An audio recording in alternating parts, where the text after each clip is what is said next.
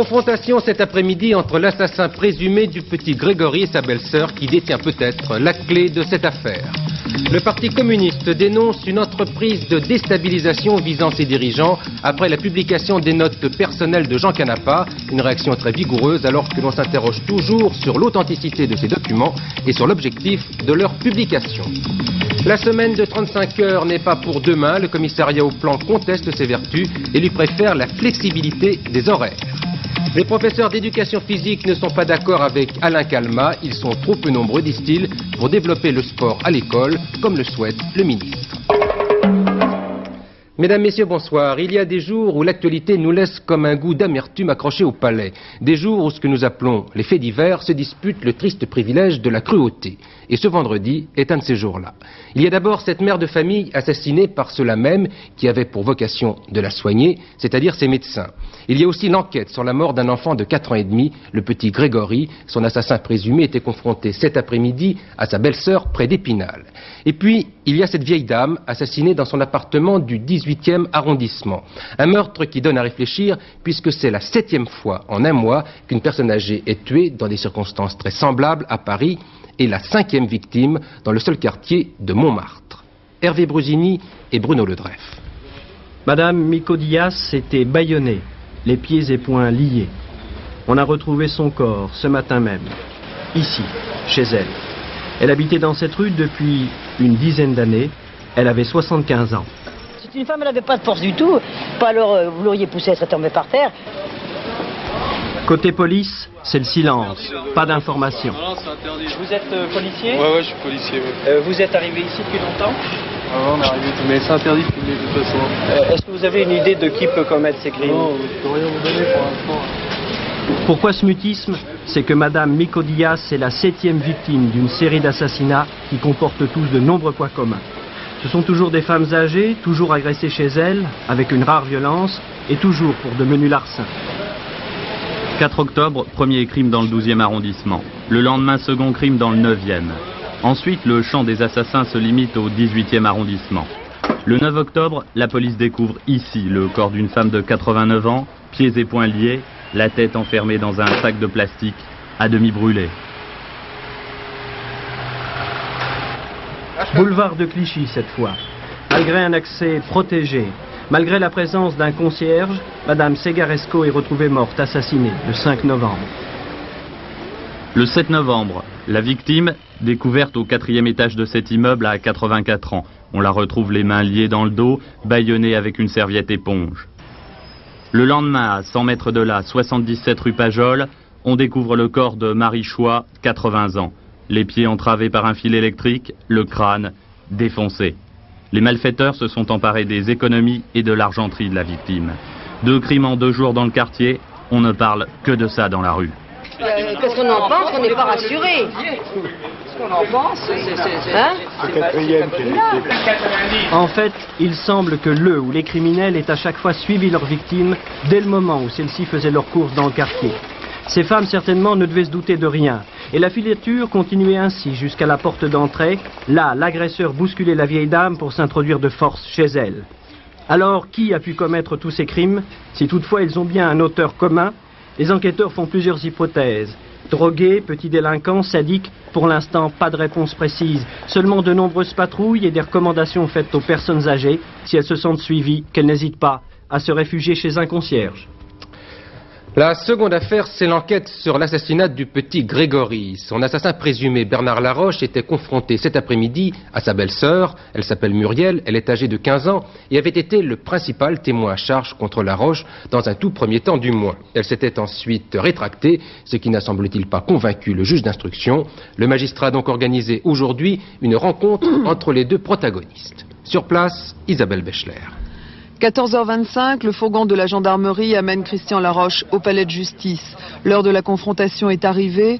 Dans le bureau du juge, le suspect numéro 1 va retrouver ses avocats, Maître Pron et Velzer, et Muriel, sa belle-sœur de 15 ans, dont les dépositions avaient permis son inculpation avant qu'elle ne se rétracte. Tout le monde attend. Les curieux, bien sûr, la presse, mais aussi la famille de Bernard Laroche. Marie-Ange, sa femme, accompagnée de la tante Louisette, chez qui Bernard Laroche affirmait être à l'heure du crime. 16 heures, la confrontation se poursuit. Les avocats de Laroche viennent d'exiger la présence de six nouveaux témoins pour confirmer son alibi. Parmi eux, M. Jonca, un ami avec lequel il aurait coupé du bois jusqu'à 16 heures, sa tante Louisa Jacob et Chantal, sa cousine. Mais à 18h30, les silhouettes furtives derrière la fenêtre du juge restent de l'ordre de l'énigme. Oui, et puis il y a aussi l'enquête sur le meurtre de cette jeune femme, victime sans doute de la vengeance d'un ou de plusieurs médecins à Poitiers. Cette femme morte parce qu'on avait inversé délibérément les tuyaux de l'appareil d'anesthésie qui devait l'endormir. Une histoire qui bouleverse la ville de Poitiers alors que plusieurs points demeurent très obscurs dans cette affaire. Thierry Calmette est à Poitiers. Déterminer les conditions exactes dans lesquelles s'est déroulée l'opération du 30 octobre permettrait peut-être aux enquêteurs de mieux comprendre l'assassinat de Nicole Berneron. Ce jour-là, le professeur Meriel vient au dernier moment pour superviser l'anesthésie. L'anesthésiste prévu s'était décommandé. Le docteur Archambault est là aussi. L'appareil respiratoire a été saboté, c'est acquis. Sur un appareil comme celui-ci, quelqu'un a interverti les arrivées d'oxygène et de protoxyde d'azote et cet appareil ne comporte pas d'analyseur d'oxygène couplé avec un signal d'alarme. Le docteur Meriel n'a pas eu le temps de vérifier l'appareil. Selon lui, c'était voulu par les criminels. On s'était arrangé par des absences euh, répétées dans le service pour que je sois obligé d'aller dépanner au dernier moment et on savait que je prendrais l'opération la plus difficile, c'était normal. Pour le professeur Meriel, les auteurs de la machination, ce sont les docteurs Diallo et Archambault. Mais ce dernier ne serait pas resté jusqu'à la fin de l'opération. Certains le décrivent comme un personnage falot, d'autres comme un étudiant solide et brillant. On s'y perd. Incarcéré en détention provisoire, il a avoué puis s'est rétracté. Son avocat ne perd pas confiance. Il y a toutes sortes d'hypothèses qui sont possibles. Soit l'innocence complète, euh, soit la culpabilité, mais avec à ce moment-là des sous-hypothèses. Assassinat, complicité d'assassinat, euh, non-empêchement d'un fait qualifié crime, tout est possible. Et puis aussi, quelle était euh, ou quelle aurait été l'intention de ceux qui ont agi ou de celui qui a agi, on n'en sait rien du tout. Après les moments d'émotion et de réprobation légitime soulevés par l'assassinat de Nicole Berneron, l'affaire semblerait plus complexe qu'on ne s'y attendait. C'est aussi l'heure des bruits de couloirs d'hôpital et des ragots. Pour l'instant, les docteurs Archambault et Diallo restent inculpés d'assassinat, mais en droit français, un inculpé n'est pas présumé coupable, mais présumé innocent. La parole est à l'instruction. De son côté, le secrétariat d'État à la santé a demandé que tout soit mis en œuvre pour que la vérité soit connue. Mais il a aussi anticipé sur la réaction de crainte qu'entraîne ce genre d'affaires en souhaitant qu'elle ne ternisse pas l'image du corps médical tout entier, ni son dévouement pour assurer la qualité des soins et la sécurité des malades. La France s'intéresse à la guerre des étoiles, c'est ce qu'a affirmé tout à l'heure le ministre de la Défense qui intervenait devant les députés pour présenter le budget de son ministère. Il a ainsi annoncé que 550 millions de francs devraient être affectés à l'étude de systèmes défensifs destinés à être déployés dans l'espace, c'est-à-dire plus simplement des missiles. Il a aussi précisé les grandes lignes de son action pour l'année prochaine. Patrick Lecoq. 150 milliards 200 millions de francs, cette année encore, le budget de la défense sera le deuxième de France. Mais contrairement à ce qui se passait ces dernières années, les militaires, comme beaucoup d'autres budgétivores, devront serrer le ceinturon d'un cran. Comparé à ce qui avait été prévu lors du vote de la loi de programmation, il manquera en effet 1 milliard 300 millions l'an prochain. Alors, il va falloir faire des économies. Reste à savoir où. D'abord du côté des personnels. Plus de 9000 emplois seront ainsi supprimés. Ensuite, dans la gestion quotidienne des corps de troupes, une légère diminution d'activité est prévue, les grandes manœuvres seront limitées. Au total, 78 milliards et demi de francs seront consacrés au fonctionnement des armées. Cette somme devant permettre un maintien du pouvoir d'achat et une progression de 5,5% des rémunérations. 71 milliards de francs seront de leur côté consacrés aux équipements. Les forces nucléaires s'y taillent la part du lion avec plus de 32%. 1985 verra la mise en service du sixième sous-marin nucléaire lanceur d'engins, l'inflexible, et le début de la refonte du tonnant. Le Mirage 4 sera modernisé et 16 nouveaux Mirage 2000 nucléaires seront commandés. Du côté de l'armée de terre, le rééquilibrage des forces sera poursuivi, moins de gros bataillons et plus de mobilité. L'armée de l'air, elle, poursuivra sa modernisation avec la livraison de nouveaux Mirage 2000. Des mesures qui viennent d'être présentées aux députés. Nous retrouvons tout de suite euh, Patrick Lecoq pour le point des débats à l'Assemblée nationale. Dans quelques petites secondes, voilà. Le projet de budget 85 sur les problèmes de défense n'a pas fait exception à la règle et députés de la majorité de l'opposition sont restés aujourd'hui sur leur position. Premier intervenant, le ministre de la Défense, pour M. Charles Hernu, si les temps sont difficiles pour la France, le budget 85 maintient la capacité de défense de notre pays. S'il fallait résumer en quelques mots le projet de budget que j'ai l'honneur de vous présenter pour la défense 1985, je dirais qu'il permet de maintenir notre effort de défense en volume, de renforcer la crédibilité de notre dissuasion, qu'elle soit nucléaire et conventionnelle, de respecter les commandes et les livraisons prévues par la, loi de programmation militaire, de préserver notre capacité d'innovation technologique et les positions technologiques acquises par nos industries d'armement, de contribuer au soutien de l'activité industrielle et de l'emploi. Monsieur Yves Lancien, député RPR, ne partage pas cette opinion. Pour lui, le gouvernement et la majorité socialiste ne tiennent pas les engagements souscrits lors du vote de la loi de programmation militaire. Dieu sait pourtant si l'on nous a fait la leçon lors du débat de 1983, quand nous nous hasardions à mettre en doute les moyens et par là même les objectifs que vous vous étiez fixés. J'entends encore le rapporteur de notre commission vous dire jamais encore gouvernement n'avait pris des engagements aussi précis. Et le rapporteur pour avis de la commission des finances ajoutait les crédits qu'il envisage d'accorder aux armées sont de ce fait fixés de façon intangible, notamment pour les deux premières années 1984 et 1985 sans oublier les propos de notre président de commission, depuis 1981, nous faisons toujours ce que nous annonçons.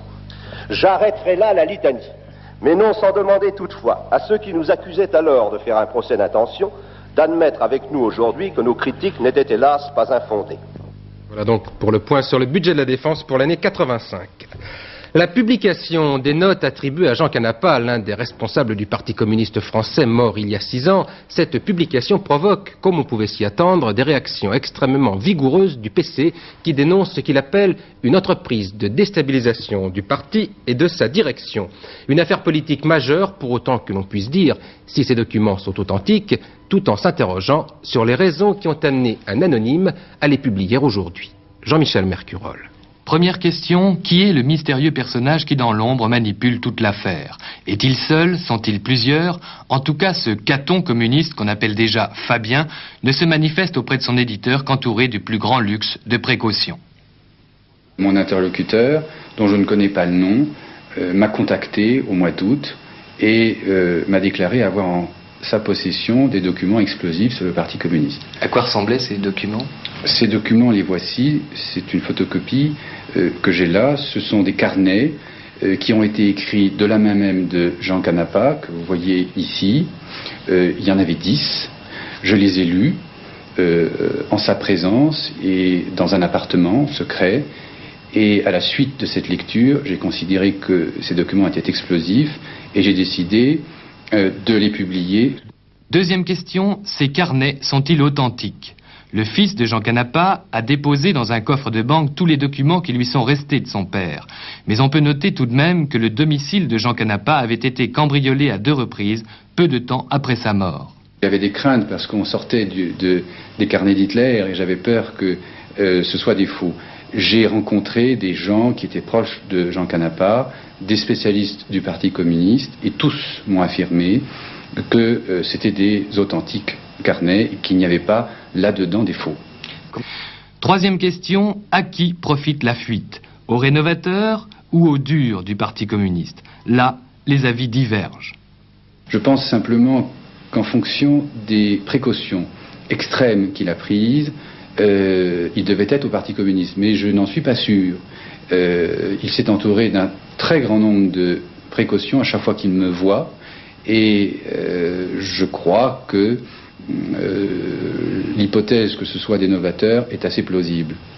La question que je me pose, c'est s'il ne s'agirait pas d'une manœuvre visant à donner du courant rénovateur dans le Parti communiste, qui jusqu'ici a accepté une discipline très stricte et entend mener le Congrès sans exclandre, une image un peu agitée, qui ferait donc l'affaire de ceux qui les dénonceraient comme des indisciplinés, des divulgateurs de documents secrets, etc. Pour la direction du Parti communiste, qui ne fait pas de détails entre les hypothèses, il s'agit surtout d'une grossière opération politique visant à déstabiliser le PC.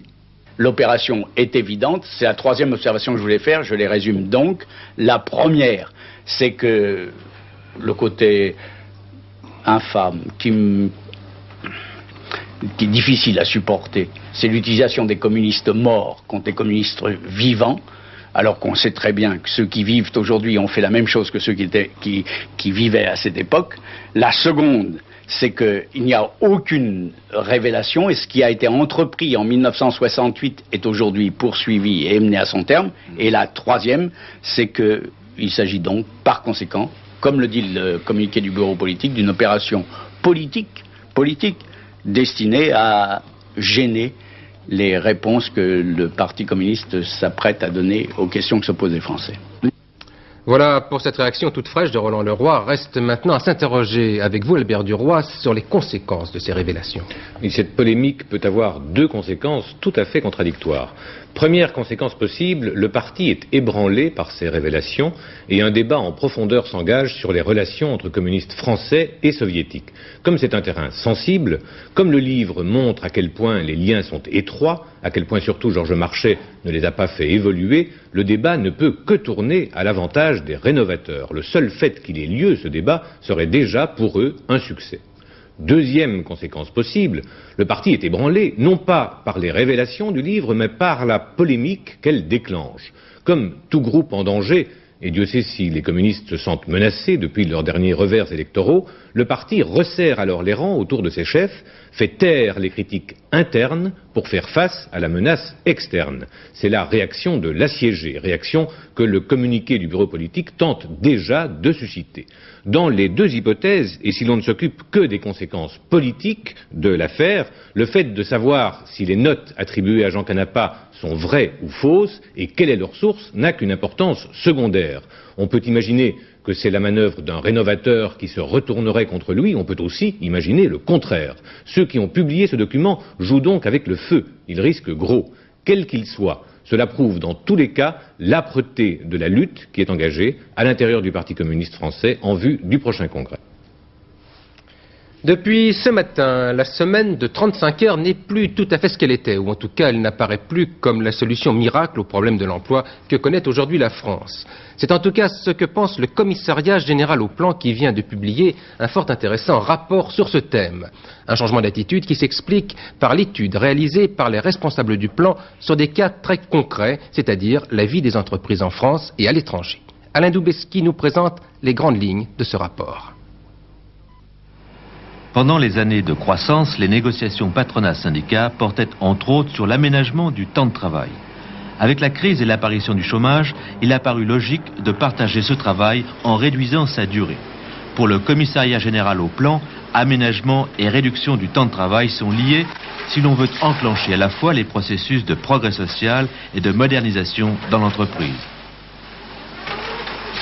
Je crois que l'action sur le temps de travail ne doit plus être considérée simplement dans sa logique sociale. Elle est désormais un élément indispensable de la modernisation de l'économie. La seconde idée, c'est qu'il n'existe pas de, solution uniforme pour l'aménagement du temps de travail. Il faut diversifier les approches, imaginer pour adapter. Je crois en particulier qu'il faut introduire une distinction entre l'industrie et les services. Et je me référerai à l'exemple des États-Unis. Euh, L'actualité a été récemment centrée sur cet exemple aux États-Unis, sur les 6 millions d'emplois qui ont été créés, une partie importante est due au développement d'horaires flexibles et de temps partiel dans le secteur des services. Les négociations actuelles patronat-syndicat sont laborieuses. La CFDT souhaite la réduction de la durée du travail. La CGT, l'augmentation du pouvoir d'achat, le CNPF, la flexibilité de l'embauche. Ainsi, le commissariat général au plan propose-t-il une nouvelle base de réflexion. Et pour ce dernier, tout le monde devrait y gagner, chefs d'entreprise et salariés.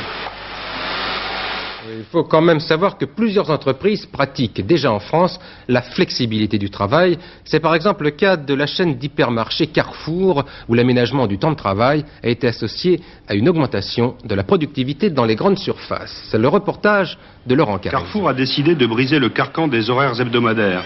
Deux raisons à cette innovation. Tout d'abord, les hypermarchés connaissent des variations de clientèle considérables.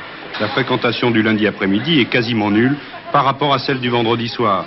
Il s'agit donc de moduler les horaires en fonction de l'affluence. Ensuite, une politique sociale de réduction du temps de travail. Aujourd'hui, Carrefour affiche 35 heures 75 par semaine. Il s'agit d'horaires effectifs. Autrement dit, on a déduit dans ce calcul les temps de pause et de repas, ce qui correspond en définitive à une amplitude de travail de 38h30. Une réduction relative donc, qui permet à la direction d'améliorer le rendement. Depuis deux ans, 50 emplois ont été créés sur un effectif de 415, sans que l'on puisse dire si ces embauches sont dues à la réduction du temps de travail ou au développement du magasin. Tous les syndicats ont signé l'accord, même la CGT, qui le regrette aujourd'hui. Quand nous avons signé l'accord, l'élément positif d'abord majeur était la réduction du temps de travail, donc euh, un petit peu plus de loisirs, les gens étaient censés partir plus tôt. Euh, à la réflexion maintenant, euh, notre objection c'est le, le manque d'embauche, enfin l'embauche insuffisante. C'est un surpoids, un surpoids de travail et donc les gens sont plus fatigués parce qu'ils travaillent beaucoup plus. Ça nous permet de libérer les... Avec ces nouveaux horaires, Carrefour a créé pour ses caissières des groupes autonomes. Elles se débrouillent entre elles en fonction de la charge de travail. Une plus grande souplesse où chacune semble y trouver son compte. Ça nous donne euh, une après-midi tous les 15 jours à peu près, hein, donc beaucoup de. On s'arrange entre nous hein, pour les horaires, pour tout. Hein. Bon, bah, si, on est, on veut faire le mat si on est posé pour le matin, on veut faire l'après-midi. Bon, bon, si on veut intervertir, nous intervertissons avec des collègues. On se sent plus libre automatiquement. Euh, certainement moins de fatigue parce que ça permet de choisir. Euh, enfin, surtout celles qui ont des jeunes enfants, ça leur permet de choisir surtout. C'est surtout ça. Une petite réduction du temps de travail et une grande flexibilité. Voilà l'expérience de Carrefour. Les caissières, elles, ne voudraient pas revenir en arrière. Ni régression, ni miracle. Il s'agit d'une nouvelle adaptation aux besoins de l'entreprise et aux aspirations des salariés. Un mot du dollar qui a gagné 1% aujourd'hui à Paris où il cotait un peu plus de 9 francs 11 contre près de 9 francs 02 à l'ouverture de la cotation. Le dollar qui se raffermit donc après la baisse très substantielle de ces derniers jours. À l'étranger, toujours la tension entre les États-Unis et le Nicaragua. C'est la suite de l'affaire du cargo soviétique qui aurait apporté au Nicaragua des armes inquiétantes pour Washington. Les Américains parlent même d'avions soviétiques de type MiG-21, ce que Moscou a démenti tout à l'heure. Toujours est-il que l'agent au pouvoir à Managua a décidé de mobiliser la population dans l'attente d'une invasion en provenance des États-Unis. C'est du moins ce qu'affirment les dirigeants de ce pays. Philippe Gassot. Le cargo ne transporte pas de MiG-21. L'Union soviétique n'a envoyé au Nicaragua aucun avion de combat sophistiqué. Cette déclaration émane de M. George Schulz, secrétaire d'État américain. Le ministre nicaraguayen des Affaires étrangères avait déjà catégoriquement démenti les rumeurs et prétendait même que les Américains recherchaient un prétexte pour une invasion que laissaient présager, toujours selon Managua, plusieurs mouvements de troupes remarqués aux États-Unis. La population réagit à ce qu'elle considère comme une menace américaine. Le Pentagone dément que ces mouvements soient liés aux problèmes nicaraguayens, au même titre que les manœuvres navales menées conjointement avec le Honduras et le Salvador à proximité des côtes nicaraguayennes. Les déplacements de bâtiments américains aux confins de la mer des Caraïbes et de l'Atlantique n'ont rien à voir avec le problème du Nicaragua, c'est ce qu'on dit aux États-Unis. L'agence soviétique TASS, qui commente l'affaire des avions soviétiques, parle de provocation pure et simple et de provocation grossière, tandis que Managua mobilise 20 000 étudiants pour la défense de la capitale. Le Nicaragua a demandé une réunion d'urgence du Conseil de sécurité et François Mitterrand, de son côté, a estimé que l'intervention militaire dans la région, une intervention militaire dans la région, ne peut en aucun cas résoudre les problèmes. En Turquie, la justice est décidément bien expéditive puisque ce sont de nouvelles condamnations à mort qui ont été prononcées contre dix militants d'extrême gauche. Patricia Coste. D'ici hier, trois aujourd'hui, treize hommes en tout viennent d'être condamnés à mort à Istanbul. Ce sont des urgentistes, activistes d'extrême gauche qui voulaient tout et tout de suite. Accusations, assassinat, attentat à la bombe, hold-up sanglant, commis avant l'arrivée de la junte actuellement au pouvoir. Jusqu'à présent, 27 personnes ont été effectivement pendues, mais 4670 peines de mort ont été demandées. Au même moment, le président de la République et son gouvernement est accusé par le ministre de l'Intérieur, aujourd'hui limogé, d'avoir laissé la police torturer des fonctionnaires. C'est la première fois que le problème de la torture suscite une crise gouvernementale depuis l'arrivée de la junte militaire. Ces faits surviennent au moment où les activités militantes reprennent petit à petit dans le pays et surtout dans la région kurde, après quatre ans d'arrêt complet dû à l'instauration de l'état de siège. La reprise en main actuelle concerne aujourd'hui surtout les activistes, puisqu'au même moment, on apprend que certains des intellectuels du comité de la paix viennent être délivrés. Le gouvernement est-allemand a décidé de ne plus accorder de visa d'émigration à, ses ressortissants réfugiés dans les ambassades d'Allemagne occidentale situées dans les pays du pacte de Varsovie, une réaction qui n'est pas vraiment une surprise puisqu'aujourd'hui au moins 180 Allemands de l'Est ont trouvé refuge dans les ambassades de RFA à Prague, Varsovie, Bucarest et Budapest. Les professeurs d'éducation physique ne sont pas d'accord avec le ministre de la Jeunesse et des Sports, l'ancien champion Alain Calma. Ils l'ont fait savoir aujourd'hui en se mettant en grève. Ils ne reprochent pas tant au ministre ses idées que l'absence de moyens pour les appliquer. Selon eux, les effectifs et le budget sont insuffisants pour permettre d'envisager ce qu'Alain Calma appelle la mi-temps pédagogique, c'est-à-dire une journée partagée entre l'étude et le sport. Alain Vernon. Des manifestants en forme, ce sont les 2000 étudiants et professeurs d'éducation physique rassemblés aujourd'hui à Paris. La France n'a pas trop de profs de gym, affirme-t-il. Il manque même 1500 postes pour assurer le minimum, c'est-à-dire 3 heures de cours par semaine dans les collèges et 2 heures dans les lycées.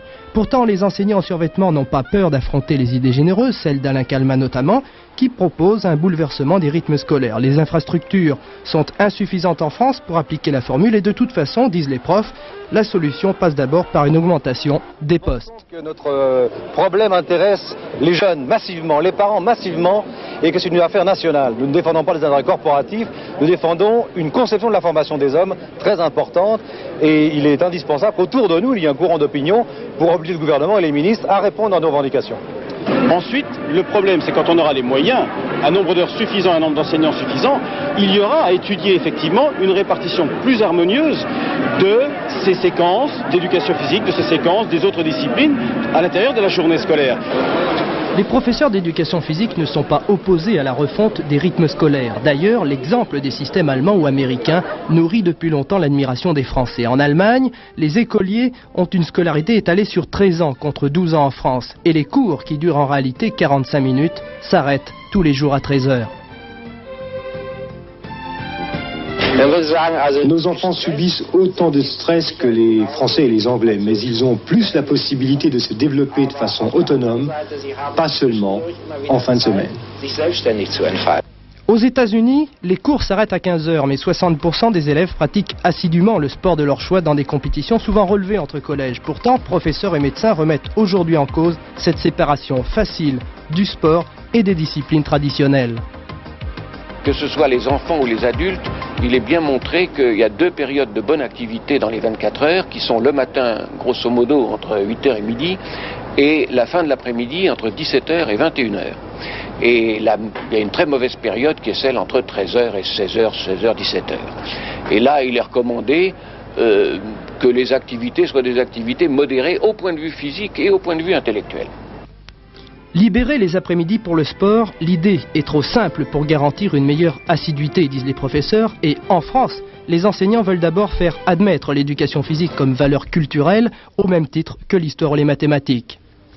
Le sport sur le terrain maintenant avec deux matchs importants ce soir en football pour la 16e journée de championnat en première division. Nantes reçoit Monaco et Auxerre accueille Lens. Quant à Bordeaux, le seul club français qualifié en Coupe d'Europe, il jouera demain et recevra le Racing Club de Paris. Et puis un tour du côté des rings puisque Lucien Rodriguez remet tout à l'heure en jeu son titre européen de poids lourd. Le seul français encore champion d'Europe affronte ce soir à Copenhague le norvégien Stephen Tangstad. Enfin, les pronostics de Pierrette Brest pour le tiercé qui se court demain à Anguien. Il y a 19 partants et Pierrette vous suggère de jouer le 12, le 4, le 5, le 17, le 11, le 10, le 9 et le 8. Et puis en dernière minute, Isabelle Blechler vient de me téléphoner pour me dire que la confrontation était terminée entre Bernard Laroche et sa belle-sœur, de même que les autres témoins. Selon les avocats de Laroche, la libye de leur client a été confirmée par ces témoins. Ils vont maintenant demander sa mise en liberté. Très vite, la météo maintenant avec Alain Gillot-Pétré et des nouvelles des cataclysmes qui touchent à l'heure actuelle les Antilles. Oui, les Antilles, mais aussi les Philippines, le cyclone Agnès qui a fait 438 morts et 180 disparus, bilan provisoire aux Philippines. Et en Atlantique, le cyclone tropical Klaus qui a intéressé le nord des Petites Antilles, qui maintenant s'éloigne en Atlantique après avoir fait 10 000 sinistrés dans l'île de la Dominique et avoir intéressé excessivement la Martinique, la Guadeloupe, Saint-Martin et Saint-Barthélemy. Mais c'est fini, il s'en va. Pour nous, ne vous étonnez pas si vous voyez demain votre voiture toute jaune, c'est par voie directe du Sahara du sable. Regardez la photo satellite. En effet, nous avons, voilà, nous avons un flux de sud bien installé qui soulève le sable du Sahara, qui l'emporte en altitude et qui le redépose chez nous. Il y en a eu sur le massif central, il y en a eu dans la région parisienne, du sable un peu partout en France, qui vient donc du Sahara. Pour l'heure, voyez donc que toujours nous avons ce flux de sud, ce qui nous donne une carte quand même très nuageuse, avec verticalement du nord au sud un temps très nuageux, avec de la pluie surtout au sud et moins au nord. À l'est, des éclaircies sauf en Alsace où le brouillard persistera, un temps de mitigé sur la Méditerranée avec de vents forts de secteur est à sud-est. À l'ouest, beaucoup de nuages aussi, quelques éclaircies par-ci par-là. C'est le même type de temps pour dimanche, sauf que les éclaircies seront plus importantes. Côté température, c'est toujours une douceur tout à fait extraordinaire qui nous vient du sud aussi, donc du Sahara, de 14 à 16 degrés sur la moitié nord et de 15 à 21 degrés sur la moitié sud, température stationnaire. On souhaiterait que ça monte encore, mais enfin, ne croyez quand même pas trop. Demain, c'est le samedi du novembre, oui, je suis là. Lever du soleil 7h51, coucher du soleil 7, 17h16, 3 minutes de soleil en moins et bonne fête à tous les Léons. Vous pouvez pas faire plus vite. C'est Jacques Segui qui vous présentera le dernier journal aux environs de 22h50, juste après apostrophe. Demain, vos rendez-vous n'ont pas changé. 12h45, antenne de midi, puis les Jeux du Stade. Bonsoir, à demain 20h.